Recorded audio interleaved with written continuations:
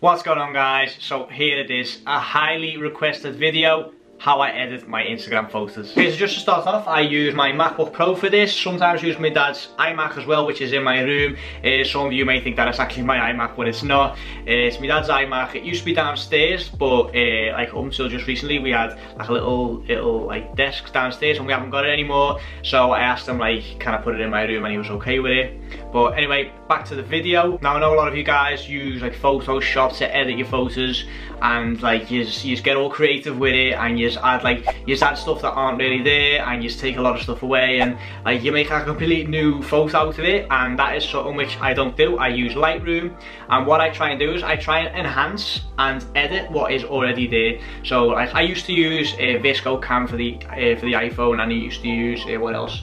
Facetune and I used to spend like ages like getting rid of every single pimple and what I used to do is I used to get rid of the stubble here because I didn't like like the way it looked on photos and it was getting like unrealistic so what I've done is I stopped doing that and then I started using Lightroom and just enhancing what is already there. Anyway, if you want to emulate like my Instagram photos, you just need to do two things.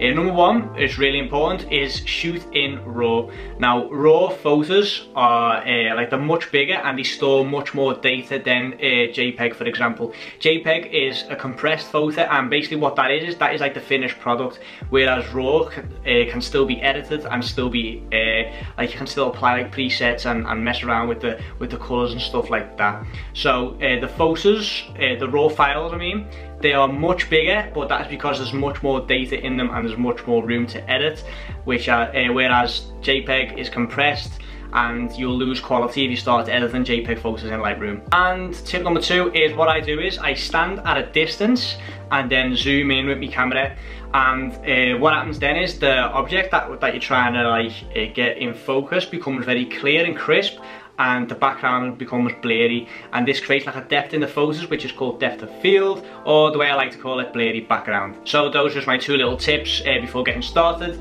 I mainly use my Canon 500D for photos, but I also like to use my Canon G7X for photos as well. Just depends like what I've got with me at the time and like if me 500D's in my bag and I can't be asked getting it out, so I just use me G7X. G7X is a point and shoot camera, but you can still shoot in RAW with G7X uh, cameras. So even point and shoot nowadays, I've got uh, the option to shoot in RAW. Anyway, enough of the small talk, let's hop into the computer. Okay, so the first thing I do when I open Lightroom and import the photo is apply my presets. So I'm just going to import these photos real quick and then click on develop. And here you've got a load of presets that I've downloaded or found on the internet or blah blah blah. And then I use my own preset, which is this one. And I use this because I like all my photos being like the same style and so also create like a theme on my Instagram page. And maybe you've noticed my photos are slightly colder, crisp, and I've got like no highlights whatsoever. And that is also what you can see on my preset. I've got my highlights on minus 100. I'll just show you guys what happens if I put them at, uh, the highlights on 100. See, I like that right down. Shadows, I like a little bit less shadow. Like some people like the really dark black shadows. I'm not really a big fan of shadows, so I just add plus 50 on that. Uh, don't like it very white either, so I always have that on minus 50. Same goes for black, so I'm not a big fan of black. So plus 50 is less black. Clarity, I'll just show you guys. I always have it on 23, but I'll show you guys what it looks like without clarity. And with loads of clarity. You can just see it just goes a bit like, a bit sharp, a bit crisper, but don't want it too crisp, just like it at round 23. Now that is an uneven number, so that really annoys me, but I don't want it any higher than that so I'm just going to stick with that and deal with the with the uneven number. Uh, don't really mess around too much with this because I like to keep it as natural as possible. So just showing it all up. I don't really do much with the exposure leave it at nil. Just show you guys what happens if I put the exposure on minus 5 plus 5 very exposed. I just like that normal. Unless I've got like a really exposed photo then I will mess around with that. Contrast have it on minus 50 to show you guys the difference because I mess around with the clarity, I don't really mess around too much with the contrast, so I'll just put on that on minus 50. Highlights right down to 100, like I said. Shadows, plus 50, black, plus 50. Whites, minus 50, clarity on 23. Saturation, which, uh, just show you guys what the difference is. Very colourful, grey. I just leave that plus 16 the other on, I think. Another thing I do is up here, I click on this, and uh, sometimes on my G7X this will be on as shot and it'll be like smaller and then I click on the original and then I've got a bigger picture and I change the angle to auto. I think this is quite a straight photo so not much will happen but that just automatically uh, gets the photo straighter. After I finish with that, export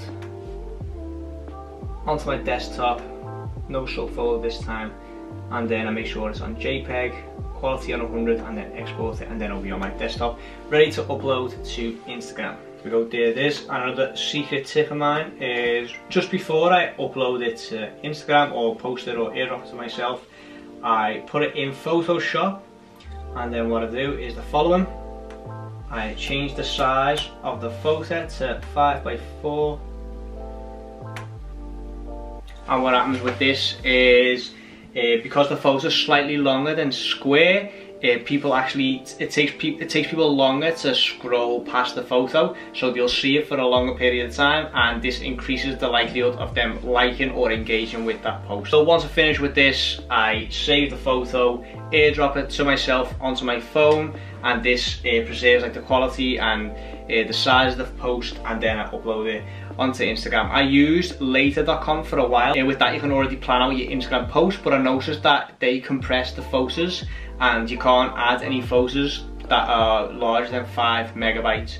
So uh, after all that work with working with raw photos and stuff like that, then you just end up compressing the photo and uploading it to later.com. So I've stopped doing that, I just uh, post it manually to my phone and then uh, think of a caption and then post it to Instagram. Anyway, that's all I got for today. I hope you enjoyed this video. What I'll do is I will have my preset in the description box down below, free of charge. If you want, you can download it and use it for yourself and create like the JD Fitness theme on Instagram. If not, uh, I've just explained to you how, how like Lightroom works, just really quick, so you can just mess around and create your, your own little presets. But anyway, uh, like this video if you like the video, comment and subscribe, and I'll see you guys in the next one.